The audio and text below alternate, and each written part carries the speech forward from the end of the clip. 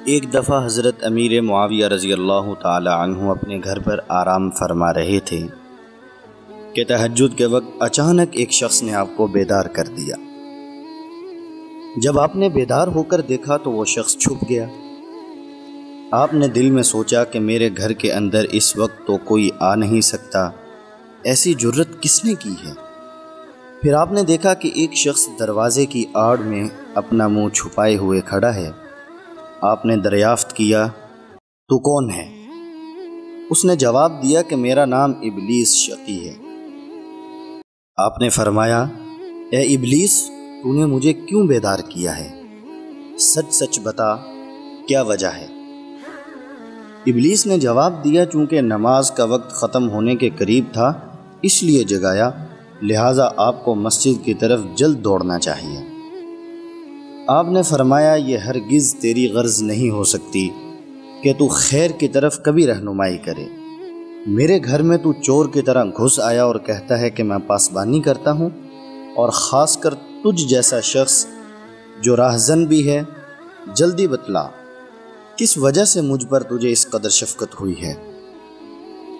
इबली इस बात को गोल मोल करते हुए जवाब देने लगा कि मैं पहले फरिश्ता था और इतात के रस्ते को अपनी जान से तय किया है। पहला पेशा दिल से कहीं बिल्कुल नहीं निकल सकता और पहली मोहब्बत भला दिल से ज़ायल हो सकती है।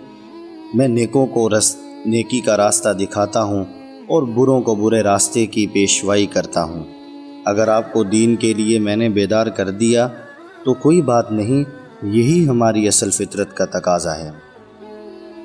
हज़रत मुआविया रज़ी अल्लाह तु ने यह बात सुनकर इरशाद फरमाया, ए डाकू, मुझसे बहस मत कर। तुझे मेरे अंदर गुमराह करने का रास्ता न मिल सकेगा। मेरे अंदर गुमराही का रास्ता मत ढूंढ। सच सच बता कि तूने मुझे नमाज़ के लिए क्यों बेदार किया? तेरा काम तो गुमराह करना है।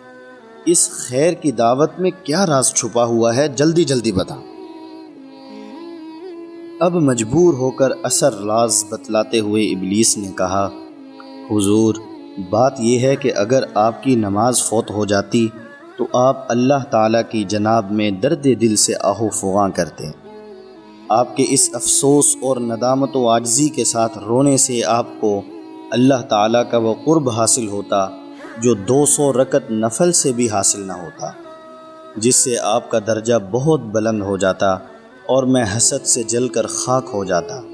इसलिए मैंने सोचा कि आपको बेदार कर दूँ, ताकि आप नमाज़ अदा कर लें और आपको अल्लाह ताला का इतना बड़ा कुर्ब हासिल न हो जाए। मैंने इसी खौफ से आपको बेदार कर दिया, ताकि आपकी दर्द दिल से निकली आहो फुगा की वजह से हसद के मारे जल न जाऊँ। मैं इंसान से हसद करता हूँ। मैंने इसी वजह से ऐसा किया है क्योंकि मैं इंसान का दुश्मन हूँ, मेरा काम हसद और कीना है, चुनाचे मैंने दुश्मनी की वजह से ये किया है। हज़रत मुआविया रज़ी अल्लाह तु ने शैतान की ये गुफ्तु सुनकर फरमाया कि अब तूने सच्ची बात कही है और हसद व दुश्मनी जो कुछ तूने की है, तू इसी के लायक है और तेरा यही असल काम है।